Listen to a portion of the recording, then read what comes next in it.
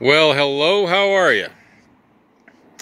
I'm going to do a little virtual walk around the truck. We haven't spoken yet, but I know you're a little ways away, and I'd rather you know what this truck's all about before you even come.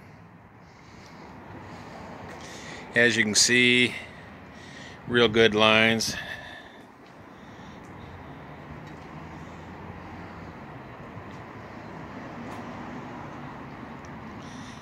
And I just sent you a text.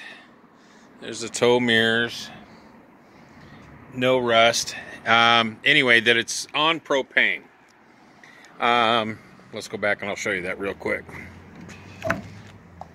So right next to your gas, okay, your regular gas, there is a fitting right there to hook up to natural gas.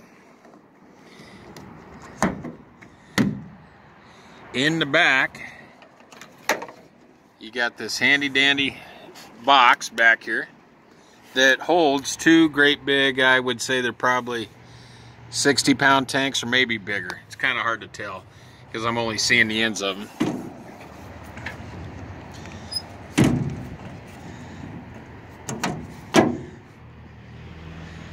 Um, when you do get in, again, underneath, no rust.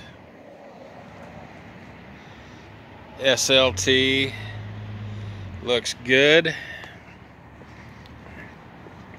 Now, the only difference is if I jump in and I just turn the key, it tells me it's on regular gas.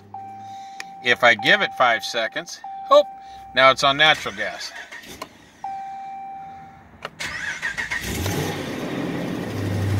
Oh, we're low on natural gas. Okay. But still, you get the idea of what it is. Um, I went over and asked the mechanic, uh, did they do it right? Did they go about it right? And basically, everything I've read